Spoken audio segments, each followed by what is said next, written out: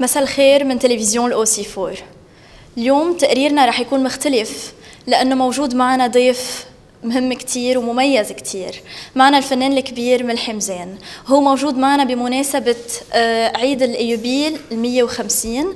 آه، أستاذ ملحم أهلا وسهلا فيك أهلا ببيتك. وسهلا فيك. أهلا وسهلا فيك بيناتنا. نورت. ال AUB. تسلم يا حبيبتي أول شيء بدي أتشكركم كلكم. اتشكر الدكتور بلال غفراني على الجامعة الحلوة. آه، مش أول زيارة إلي على الجامعة. هيدي ثالث زيارة بعتقد من 10 11 سنه لهلا آه، يعني أول شيء أجيال عم تتخرج من هذه الجامعة على مدار آه، 150 سنة مش سهلين وتضل تعطي وتضل آه، تطلع أجيال مثقفة على القليلة. يعني نضل والحلو بهالجامعه إنه ما يعني نحن تعودنا بلبنان شوي بلد تركيبته شوي طائفية يعني شوي مش كثير بقى اللي بتلاحظوا بهالجامعة إنه فعلا ما يعني بتلاقي الناس كلها من جميع ال- الطوائف ومن جميع الأحزاب. بقى إن شاء الله الله يديم الأمان على الجامعة وياخذ بيدكم كلكم إن شاء الله. إن شاء الله إن شاء الله. آه، مثل ما حضرتك تفضلت هاي مش أول مرة بتجي على الأيوبي آه، شو كان انطباعك هالمرة؟ يعني هو أنا جيت من يمكن ثمان سنين وقتها كان في شيء عاملين شيء هون كمان حفل. له علاقة بالجامعة. آه، سبق قلت لك إنه بتشوفي إنه آه، إنه في جيل بعد جيل. أنا من ثمان سنين كانت الناس الموجودة هون غير الناس الموجودة حاليا. في ناس تخرجت وطلعت وعملت آه، نجاحات طبعاً. بالحياة. في ناس بعدها ناطرة عم تخلص سنة ورا سنة لتقدر كمان تنطلق بالحياة. بقى يعني جامعة مهمة جدا وانطباعي دائما عنا إنه صرح مهم جدا صرح تعليمي مهم جدا بلبنان. آه، ونيالكم على الجامعة وعلى ولا مش كثير آه، أستاذ ملحم نحن هون بال conference room معنا ممثلين عن آه، ثلاث نوادي بال AUB معنا ممثلين عن ال organic chemistry club اللي هو جمعية ال- آه، الكيمياء العضوية. ومعنا ممثلين عن ال AUB دبكة club اللي هن نادي الدبكة بال AUB ومعنا ممثلين عن ال biology student society اللي هي آه، أكيد مستلمين الدبكة؟ ربعنا مش مسطار آه، ثالث ثالث ال biology student society اللي هي آه، نادي العلوم. هيدا يعني هالثلاث نوادي هن بصدد تحضير آه، لحدث اللي هو أطول دبكة بالجامعة الأمريكية؟ آه، هذا الحدث حيكون آه، أول حدث حيصير بمناسبة عيد الجامعة الأمريكية ال 150 آه، طبعا آه، يعني هي حتكون غير شكل لأنه حضرتك موجود معنا. آه، كنت حابة أسألك آه، شو شعورك إنه رح يكون في أكثر من 100 تلميذ؟ عم تلميذ وبين تلاميذ ودكاترة وموظفين عم بيدبكوا على أغانيك بالجامعة الأمريكية.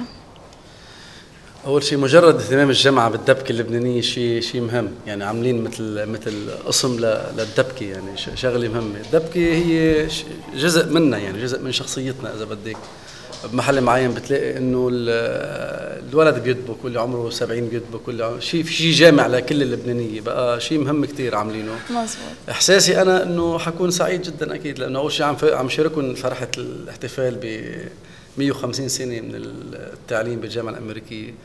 و- وبنفس الوقت أنا يعني بحس إنه الدبكة بتعني لي أول شيء بعلبكة، ثاني شيء بغني الدبكة، يعني نحن بنعتبر الدبكة خلقت من عنا، هيك نحن هيك معتقدنا ما بعرف وين خلقت هي. بقى آه، كثير بتعنينا الدبكة يعني بتعنينا بشكل آه، جزء من حياتنا جزء من يومياتنا بقى حيكون شيء حلو إن شاء الله. إن شاء الله إن شاء الله بين الأغاني اللي بغنيها دبكة وبين ال- هال هال 100 150 طالب اللي عم يدوا كلها حيكون شيء حلو إن شاء الله. نحن بنتشرف بوجودك معنا. وأنا كمان. آه كنت حابة أعطي مجال لبعض التلاميذ كانوا حابين يسألوك آه أسئلة. يلا. عن أغانيك أغنية عندك هواية لمين بتقدمها كنت؟ والله شوف هلا آه، مش مش كل الأغاني اللي بغنيها فيها حالات يعني مش مش مش اجباري يكون فيها حالي. هاي غنية معي من سنتين يمكن تقريبا وما ما نزلتها. كانت الدنيا أيام قاعد سوريا وكانت الدنيا مخبوطه ما ما نزلتها بقى. لما تأخر الألبوم وشفت إنه عم غير من شركة لشركة كنت روتانا صرت MBC هلا. آه لقيت إنه آه لا لازم انزل single قبل ما يخلص الألبوم. بقى نزلناها. الشاعر هو كتبها وملحنها و آه، بوجهها لكل حدا عنده عنده مشكلة عاطفية عنده مشكلة مع حبيبه عنده مشكلة مع حبيبه كله بي تفضل. بال video clips تبع اغانيك في كثير بنات حلوين. ما بتغار مرتك هن يعني هي بتكون عم تمثل معي يعني ما ما في وأنا ما ما في تعبيط وما تعبيط وكذا. لا عن جد. مش مش موضوع مرتي بس لأنه حرصا لأنه هذا الكليب عم يفوت على كل بيت عم يفوت على كل TV عم شوي بجرب كون محافظ شوي بالكليبات يعني ما فيها الاشياء كثير فيها إيحاءات وفيها منفتحة وما ما عندها مشكلة. هي تزوجت فنان وهي عارفة إنه أنا فنان يعني بالنهاية جاهزه انها تتحمل كل شيء يعني بس كمان كل شيء ضمن احترامها يعني ما أكيد. آه أنت لمين بتسمع أكثر شيء؟ إنه شو الألوان اللي بتحب تسمعها أو في حدا معين أثرت فيه تا صرت تغني معلش من من اللي عم من اللي مجيليني هلأ يعني بجرب دائما أسمع الغنية الحلوة يعني ما ما له علاقة الشخص مين هو. يعني في كثير أغاني بتنزل مثلا بسمعها ما بيهمني لمين تكون هم غنية حلوة يعني هذا اللي بيهمني هلا في ناس تاركه بصمة بالوسط الفني بالفن العربي. يعني بناخذ مثلا كاظم الساهر مثلا. بسمعه لأنه أول شيء صديق وثاني شيء بحب ريبرتواره عظيم يعني. بحب بحب شو بيغني بحب شو بي شو بيقدم. آه بس من الجيل الجديد والله في كثير أصوات حلوة يعني. وائل كفوري صوت حلو بسمع له شو ما عمل مثلا بجرب اسمع شو عم ينزل. بسمع أول شيء من جهة إنه صوت حلو ثاني شيء من جهة المنافسة يعني. إذا بدك تسمع اللي بوجهك شو عم ينزل لتقدر انت تعمل شيء مختلف أو تقدر تعمل شيء له علاقة بشخصيتك ب آه بنسمع آه وائل بنسمع صابر رباعي بنسمع كثير أسماء موجودة على بالساحة يعني. وعندي ذوق هيك شوي قديم لورا ناظم الغزالي السيد نقشبندي. أنا هودي يمكن ما حناش بيسمعهم بس أنا من النوع اللي بستمتع فيهم يعني. في كثير أسماء طه الفشني إذا بتسمعون بشيء بيعبي الرأس يعني. بقى والفنانات. الفنانات. يعني خلينا نشيل الجيل اللي هن فيروز وأم كلثوم وحفظ الألقاب. من الجيل الجديد أنا مين بحب أصوات يعني من اللي عم يغنوا حاليا. أنا بحب صوت يارا. يارا صوت حلو. بحب آه، إليسا عندها تنبر صوت حلو. بحب آه، نجوى. نجوى بحس هيك منها يعني. بتحس هيك مزبوط الصوت اللبناني البيور يعني. هو اللي بحبه بالنسبة ل آه، شو اسمه الشيف أنطوان. إيه. كان كان رأيك منطقي فيه يعني إنه حيربح وهي بتعرف ليش حسيته حيربح؟ أول شيء عم يجي تصويت كثير عالي لأنه كثير مهضوم. يعني طريقته وال... كأنه عمره سنتين وقعد عم يغني وعم يعمل بإيده هيك. آه ومهتم كثير يعني بتلاقيه اجاني فعلا أجاني شي 12 مرة بلا مبالغة. يجي يراجع معي راجع راجع إنه في حدا مش حافظ راجع يتعمر لبنان. إنه هالدرجة موسوس إنه يقدم شيء منيح. وبس يعني ما ما فيش صوت بس إنه مهضوم يعني هو ك character مهضوم. أفضل واحد غنى معي شو اسمه؟ طوني عيسى الممثل.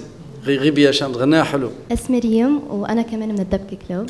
عندي سؤال. في مرة قلت أنت بمقابلة إنه بدك تعتزل الفن. هل ال plan بعدها ماشي وشو أسبابها؟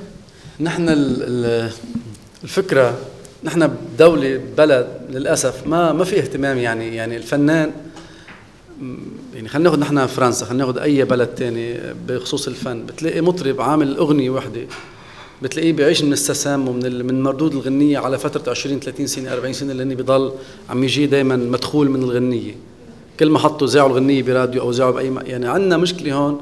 وعندنا تجربة حية قدامنا هنا صباح آه، كثير أسماء آه، من اللي موجودين للأسف الله يرحمهم ما بدي أقول تبهدلوا بس آه، كانت الخاتمة مش مش مش سعيدة يعني.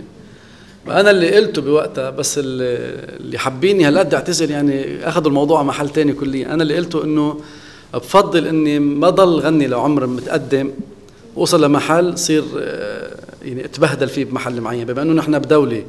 لا بترعى فن ولا لها علاقة بالفنانين وبالكاد عم تأمن موظفات الدرك والجيش. بتلاقي إنه لا توصل لمحل إنك توقفي وتكوني بعدك صورتك أو أو الإيماج تبعك بعد عند الناس منيحة. أفضل ما توقفي على يعني أنا هذا اللي قصدته بوقتها إنه لا أنا بدي وقلت بوقتها يعني للأسف تزامن الموضوعين مع بعض قلت إنه أنا بما إنه الله أعطاني صوت إذا وقفت فن فيني أستخدمه بمحل ثاني له علاقه برب العالمين يعني فيني أستخدمه باناشيد بمدائح بأي شيء فيني أستخدمه. هذا اللي قلته. قلت بس وقف. أما هم أخذوه على محل إنه ملحم بعد سنة بده يوقف بعد سنة ونص بده يوقف. بلشوا يوقتوا لي يعني عرفتي كيف؟ هن هيك فسروا الأمر بس إنه إذا واحد معه صوت وقف على الخمسين مثلا. طب إنه آه، فيني أنا إذا كان الغناء حرام فيني كفر عن عن اللي عملته. بمحل تاني إنه اتجه لرب العالمين بس هيدي.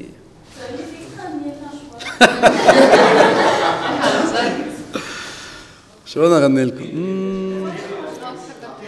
هو غيبي يا شايمة صغيبي لك بالكبا وريد حبيبي.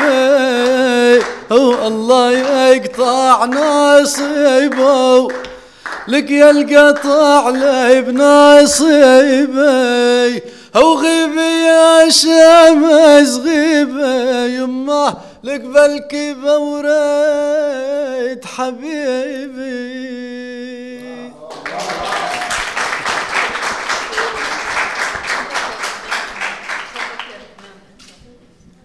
بكلب سألوني شو صاير ببلد العيد مزروع الداير نار وبواريد. قلت لهم بلدنا عم يخلق جديد. لبنان الكرامي والشعب العنيد. كيف ما كنت بحبك من هونك بحبك حبي من ترابك بكنوز الدنيا وبحبك يا لبنان. يا وطني.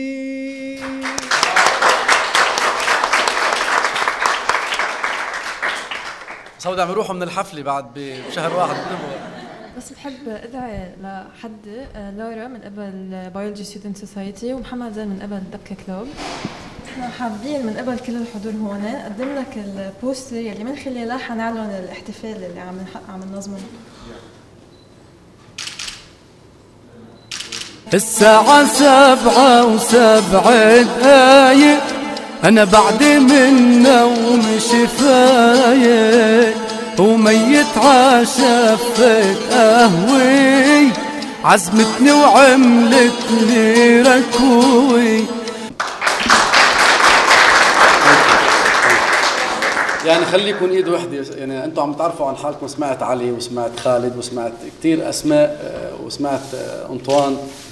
هذا أفضل شيء ممكن نحن نقدمه. يعني نحن هذا الجيل كثير مسؤول عن إنه نضل عايشين مع بعضنا ونضل قراب من بعضنا لأنه جيل الحرب للأسف أفسدته الحرب كليا. يعني بتلاقيه طائفي. فعلا الجيل اللي قبلنا بقى جيلنا نحن بده عليه مسؤولية كبيرة إنه نكون مع بعضنا ونكون إخوة ونكون آه، معتقدك السياسي أنت حر فيه انما نضل إخوة دائما إن شاء الله. آه، أول شيء نحن بنتشكر وجودك معنا اليوم وإن شاء الله بتضل نجاحاتك عم بتكفي.